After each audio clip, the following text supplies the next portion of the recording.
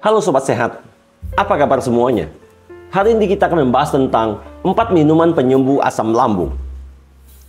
Penyakit asam lambung atau GERD adalah kondisi yang harus segera ditangani saat kambuh.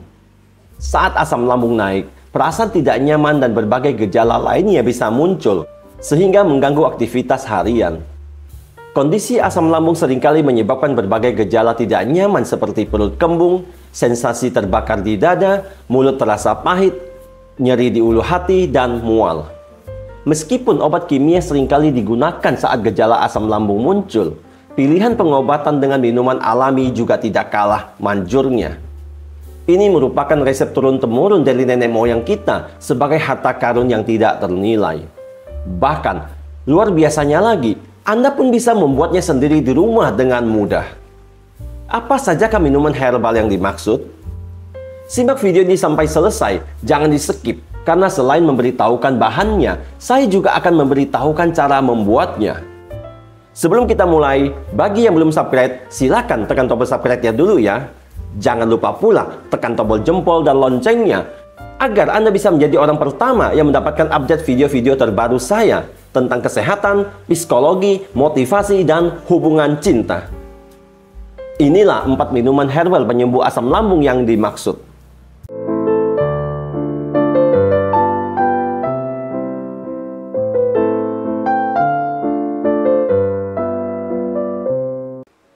Minuman penyembuh asam lambung yang pertama adalah serai. Serai mengandung senyawa aktif seperti citronella dan geraniol yang memiliki sifat antiinflamasi dan antispasmodik. Yang berarti dapat membantu meredakan peradangan dan mengendurkan otot-otot di saluran pencernaan, termasuk sphincter esofagus yang mengatur aliran asam lambung ke kekerongkongan. Senyawa dalam serai dapat meredakan gejala asam lambung seperti nyeri ulu hati, mulas, dan sensasi terbakar di dada. Serai membantu menyeimbangkan tingkat keasaman dalam lambung, mengurangi kemungkinan terjadinya reflux asam lambung.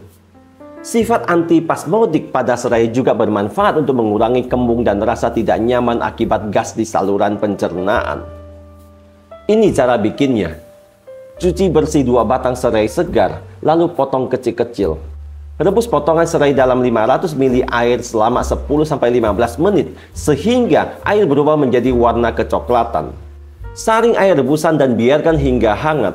Tambahkan satu atau dua sendok makan madu jika Anda ingin minuman ini ada rasa manis-manisnya. Untuk madu adalah opsional ya sobat, tidak pakai juga tidak apa-apa. Untuk hasil terbaik, konsumsi air rebusan serai ini secara rutin, terutama setelah makan malam atau ketika gejala asam lambung muncul. Minuman penyembuh asam lambung yang kedua adalah kayu manis. Kayu manis bukan hanya sekedar bumbu dapur yang populer, tetapi juga memiliki sejumlah manfaat kesehatan yang luar biasa. Dalam berbagai budaya, kayu manis telah digunakan dalam pengobatan tradisional selama berabad-abad. Penelitian modern juga mendukung khasiat rempah yang harum ini, yang menunjukkan bahwa kayu manis memiliki sifat antiinflamasi yang kuat. Mengkonsumsi kayu manis secara teratur dapat membantu mengurangi peradangan dalam tubuh yang bermanfaat dalam menurunkan risiko penyakit jantung, artritis, dan bahkan kanker. Studi juga menunjukkan bahwa kayu manis dapat meningkatkan sensitivitas insulin dan menurunkan kadar gula darah, menjadikannya efektif dalam membantu pengelolaan diabetes. Selain itu, kayu manis juga memiliki sifat antimikroba yang dapat membantu melawan bakteri dan jamur, sehingga berperan dalam mencegah infeksi. Kayu manis juga dapat mendukung kesehatan jantung dengan cara menurunkan kadar kolesterol dan trigliserida di dalam darah.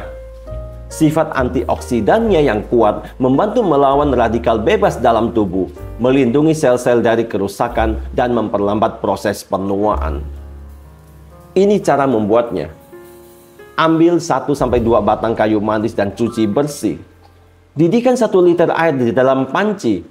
Masukkan kayu manis ke dalam air mendidih, lalu biarkan merebus selama 10-15 menit.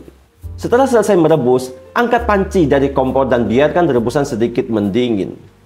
Jika diinginkan, tambahkan madu secukupnya untuk menambahkan rasa manis. Rebusan air kayu manis ini dapat dinikmati hangat ataupun dingin sesuai selera Anda.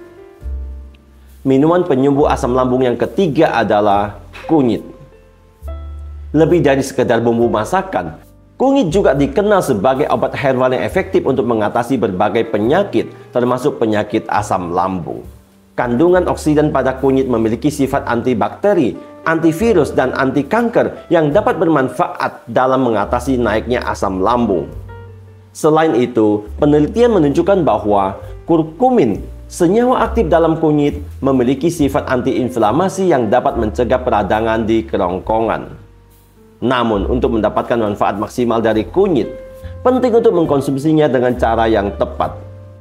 Adapun caranya adalah yang pertama, Anda dapat mengkonsumsi teh kunyit dengan cara menyeduh bubuk kunyit instan dengan air panas atau menggunakan rimpang kunyit kering yang telah digiling.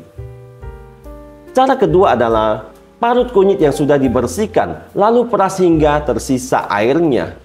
Jika Anda tidak tahan dengan aroma kunyit, Anda bisa menambahkan 1-2 sendok madu. Sari kunyit ini dapat dikonsumsi di pagi hari 30 menit sebelum sarapan atau di malam hari sebelum tidur saat perut kosong. Meskipun kunyit menawarkan banyak manfaat kesehatan, penting untuk tidak mengkonsumsinya secara berlebihan. Minuman penyembuh asam lambung yang terakhir adalah jus lidah buaya. Selain dikenal untuk menjaga kesehatan kulit dan rambut, lidah buaya juga efektif untuk meredakan asam lambung. Kandungan alkali dan kadar air yang tinggi dalam lidah buaya membantu menetralkan asam lambung yang berlebihan. Beberapa penelitian menunjukkan bahwa lidah buaya memiliki efek anti radang yang dapat meredakan gejala asam lambung, menjadikannya pilihan yang alami untuk mengatasi masalah ini. Lidah buaya memiliki daging yang tebal dengan tekstur yang berlendir seperti gel. Daging yang terdapat di dalam daun lidah buaya inilah yang biasanya digunakan untuk meredakan asam lambung tinggi.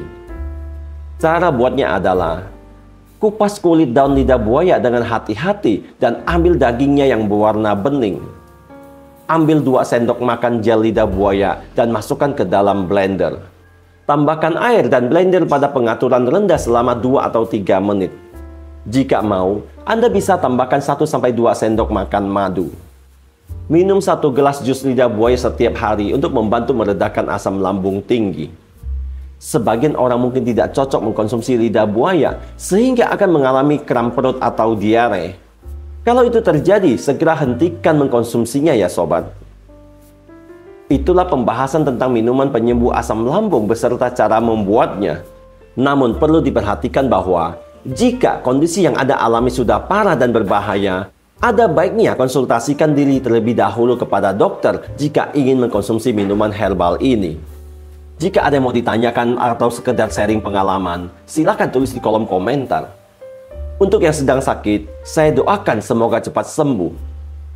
Saya, Teddy Wong MSI, motivasi, solusi, dan inspirasi.